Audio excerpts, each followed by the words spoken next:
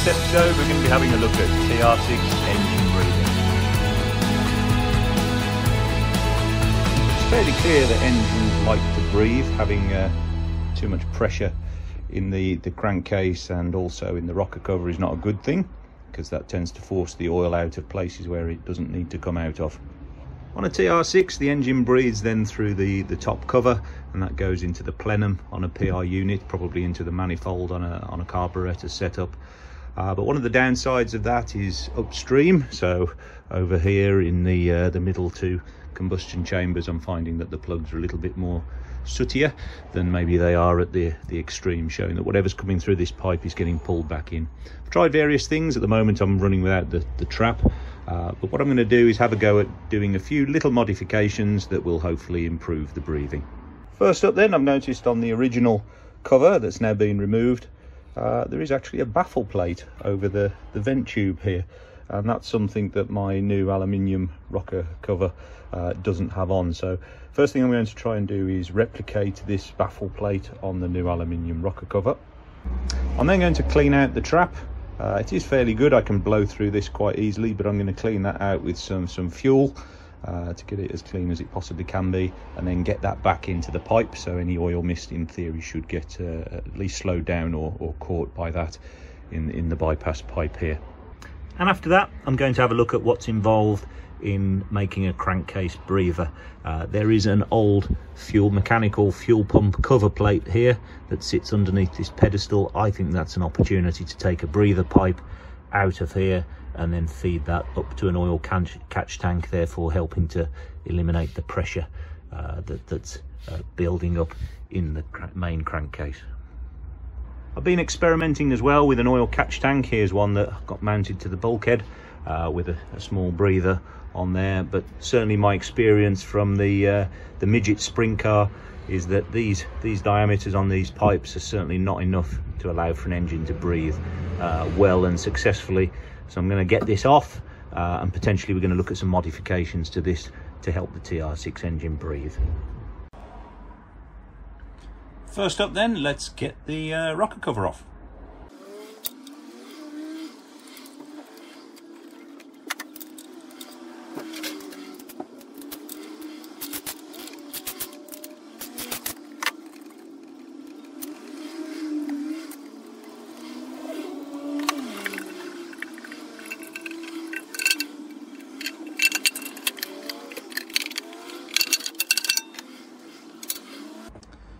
So my thinking here is I've cut an aluminium plate. This is uh, eight centimeters by six centimeters. And I'm thinking I can form that into a, a baffle that'll be one to two millimeters away from the edge. Uh, and then maybe secure it with one screw straight through the, the casing underneath the existing 10 millimeter hole. Uh, so to, to put the case under pressure but not give an obvious route for the uh, for the oil. So I've got my little mock-up plate here, but before I go any further, what I've done is just stuck that on with uh, some some some Blu Tack, some uh, kind of sticky gum, just to position it, and I'm going to put the cowl back on the car just to make sure that this doesn't foul with any of the springs. Okay, so that fits. So what I'm now going to do is uh, drill a hole through here. And we'll mount that up onto there. And it should be ready to fit back to the car. So uh, it always loathes me drilling holes in nice shiny aluminium bits, but uh, here goes.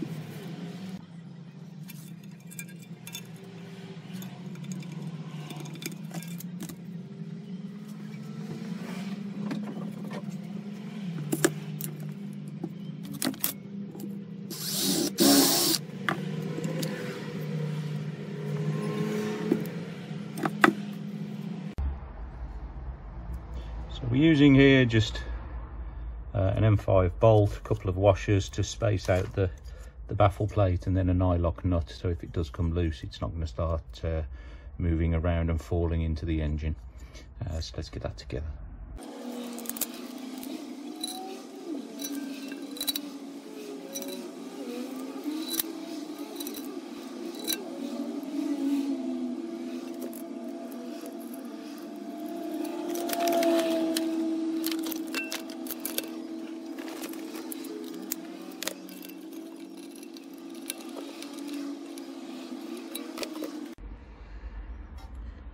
Right, so uh, all tightened up. There's my finished baffle uh, with a nylock nut on the outside. So let's get that back on the car. So next up, we're going to cl clean our flame trap here. Uh, it's been on the car, it's done a few thousand miles. So uh, I've got a jar of petrol here. Always be very careful when you're around petrol. It is a highly flammable fluid, of course.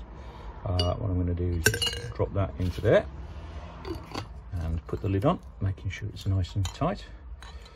And give that a really good swill around.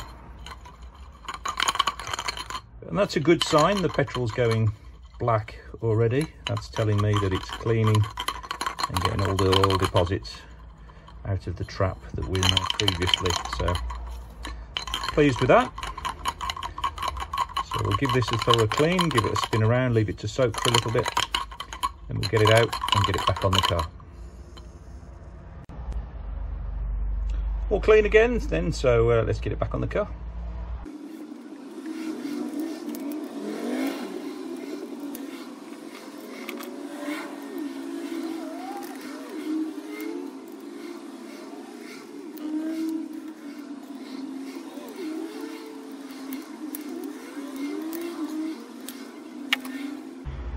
So that's the easy bit. We put the flame trap back in, put a baffle in the rocker cover. Uh, next thing I'm going to have a look at is seeing what's involved in converting the old mechanical fuel pump cover into a, a breather pipe that we can take to a catch tank.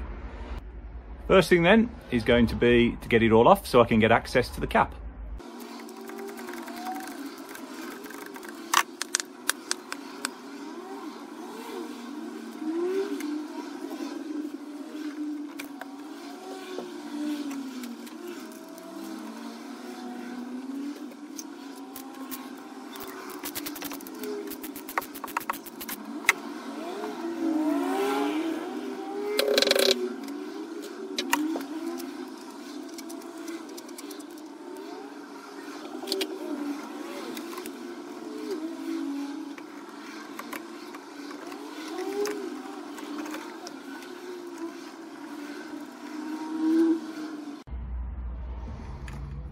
Okay, so with the metering unit off, you can pull that forwards and you can just see the cap down there and the two bolts, or nuts I should say, that hold it on above the, uh, the oil filter.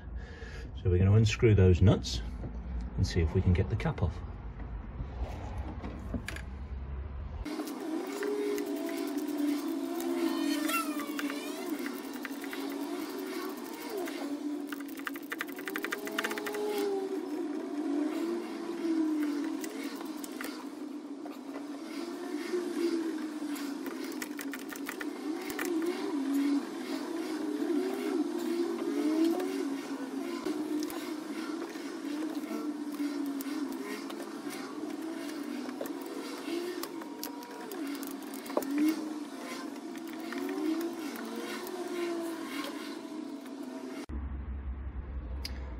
So there then is the cover plate removed from the side of the engine where the old fuel pump was.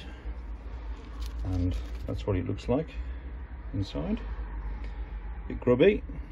Uh, so what I'm going to do is remove the gasket off this, clean it up, and then uh, I've got some tube. So we're going to drill a hole in here, put a piece of tube coming out of there that we can attach a pipe to uh, and then we'll get this put back on.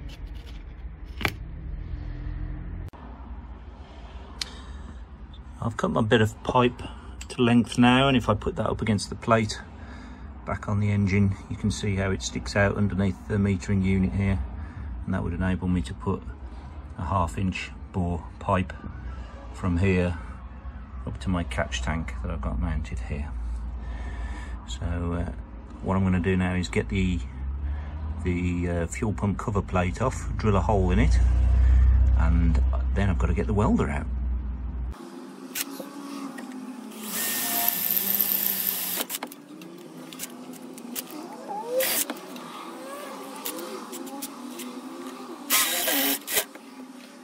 So uh, just tacked that in place just to get the position. So what I'm going to do now is offer it up to the car, make sure it clears the metering unit. And if it does, we're uh, we're good to weld up the tube to the uh, to the new uh, fuel plate. You can see the hole there that's been cut in the back. And the good news is when fitted into place, if I can get down there, you can probably just see it. Uh, that clears the metering unit just fine. And more importantly, the pipe goes upwards right from the engine block. So there's no opportunity for oil to, to pool and sit in the bottom of the pipe, which wouldn't be good news. So uh, now I've got that, I can weld it up uh, properly.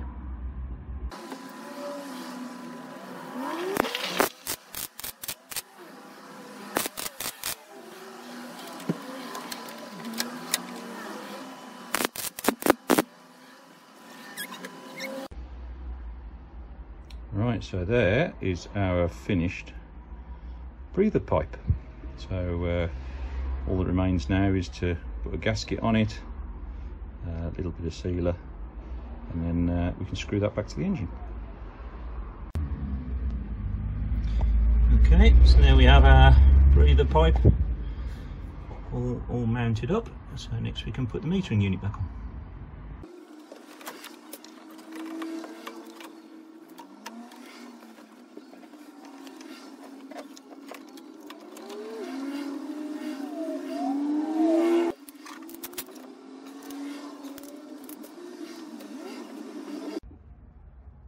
Okay, metering unit back on, and you can see my breather pipe here. So all that remains now is to fit a pipe from here to here. So I'm going to do that, and then after that we can get the distributor back on, reassembled, reset the timing, and uh, we're done.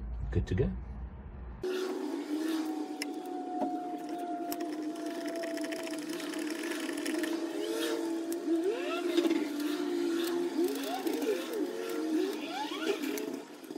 Okay, so that's the installation all complete.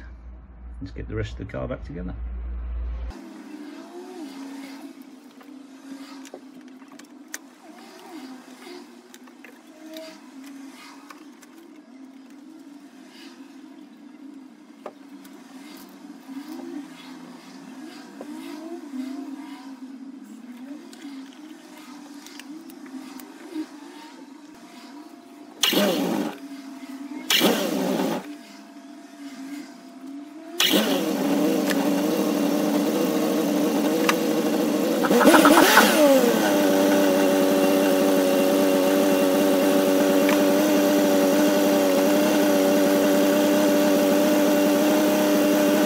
So that's all the breathing upgrades done. Uh, we've put a baffle on the rocker cover, we've cleaned out the flame trap, and we've uh, taken off the old fuel pump uh, cover.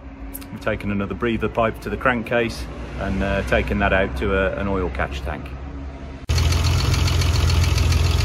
So it's clear that the venting is actually working. So through our pipe here, you can see some of the crankcase fumes that are coming off here.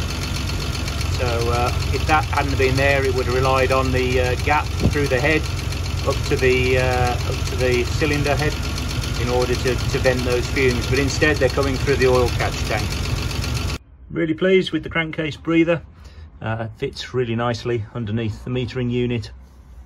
Uh, and with the pipe comes up to an oil catch tank that I've mounted in this spare space here uh, that, that wasn't being used. So uh, the proof will be in the testing, of course, and uh, keep an eye on the comments, as I'm sure you will have lots of views on this. And uh, I'll be letting you know if I've found any improvement or not. So once again, I hope you've enjoyed the adventures messing with the TR6. Uh, thanks for watching, thanks for subscribing, and I'll see you on the next video.